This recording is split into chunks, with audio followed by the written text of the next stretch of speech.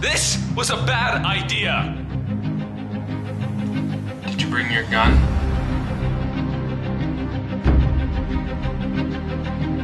Yes.